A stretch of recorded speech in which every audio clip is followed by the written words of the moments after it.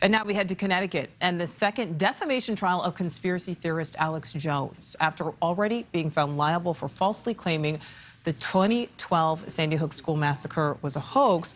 A jury will now decide how much Jones owes eight families and a first responder. Eva Zymaris from our affiliate WTNH joins us live in Waterbury. And Eva, what happened in court today? What did we learn?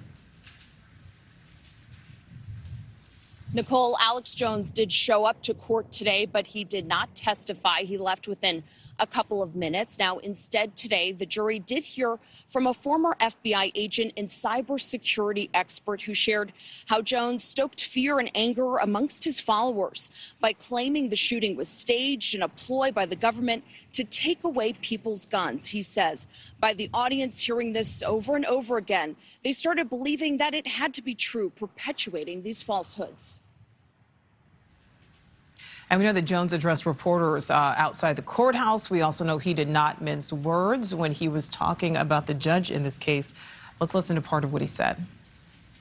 The judiciary has been weaponized and is on trial here. The judge has found me guilty despite the fact we turned over all the discovery. They didn't have a case, they had to default me. She's now ordered me to not say I'm innocent and ordered me to say that I have not profited from Sandy Hook.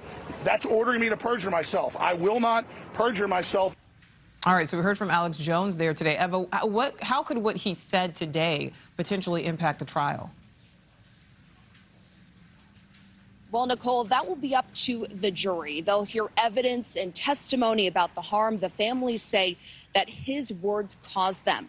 But both Jones and his attorney have called this a show trial and want to silence him. The jury will have to sort through all of this and make a determination on how much he'll have to play the, pay the plaintiffs in this case.